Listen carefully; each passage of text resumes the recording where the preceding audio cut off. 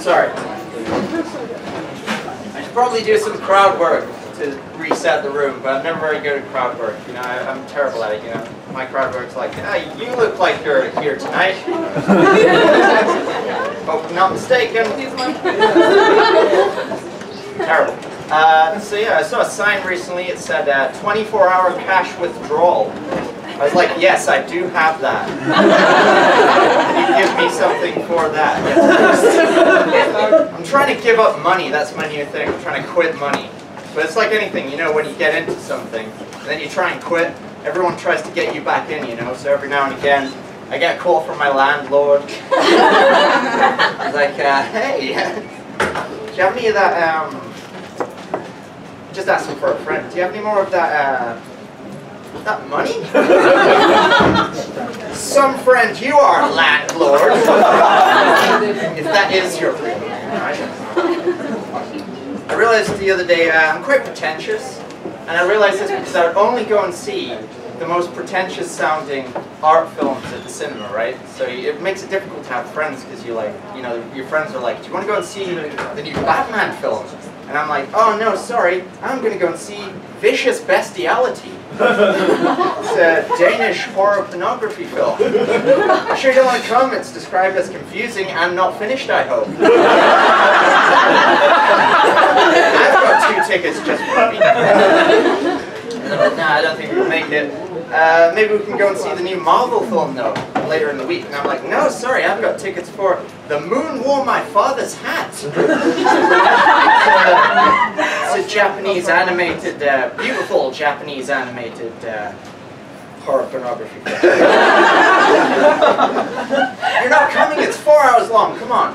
Come on. Oh, what about this one? Uh, Russian with Swedish subtitles? Come on. No? Just me with a craft beer trying to learn Swedish on the fly? it's not a weekend, it's my weekend every weekend.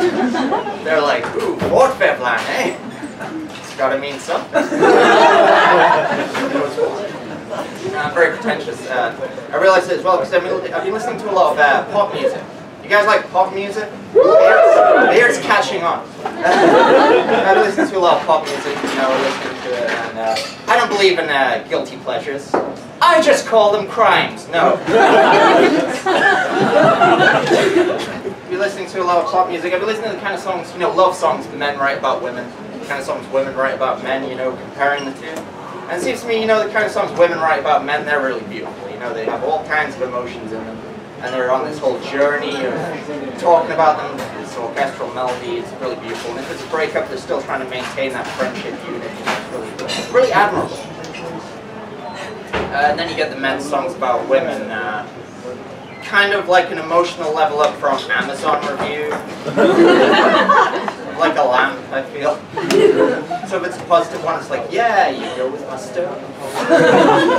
Fulfilling me in every way. Three out of five stars. maybe it's a negative song, maybe it's like, uh, it left. Wasn't in the product description. I'm gonna read some of my favorite men's songs about women. Kind of paraphrasing with the titles, but I think get it from these. Uh, so these are my favorite men's songs about women. Number one, pretty sure I won't fuck it up this time. Number two, you like someone obviously better. But why though? Mystery. You're my dream girl. Don't go outside.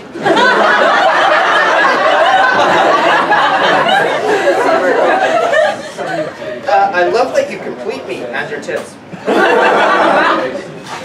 Uh, number five, don't blame me for what my dick did. In the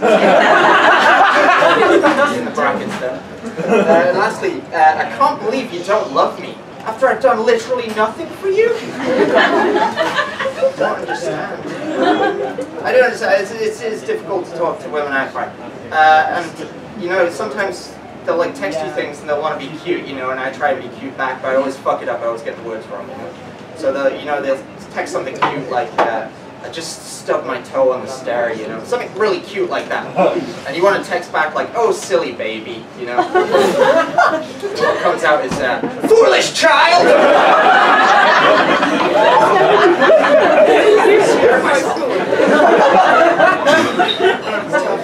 But uh, been getting into a lot of bad habits as well. I've been uh, eating a lot of bad food, uh, watching watching a lot of uh, go to bed or kill yourself TV. no one gets to like 4 a.m. and the TV's like, that's all the TV there is now. you better do what you're gonna do. Just the logo spinning, like, I don't know, man. Make a choice. Just damn bad.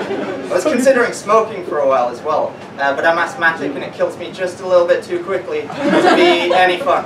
But I realized uh, if I did start smoking, I would smoke those long tabs, you know, long cigarettes, or a cigarette tab on a stick, you know, like Audrey Hepburn and Breakfast at Tiffany's, that kind of thing. I would, do. I would do adverts for those, I'd be so into it. Long tabs, get them while they're long, folks. Tab on a stick, how can it kill you? It's over there. There's no way. Oh, that was ivory. Why did they throw that away? It's an expensive habit. Anyway, that's me. Thanks.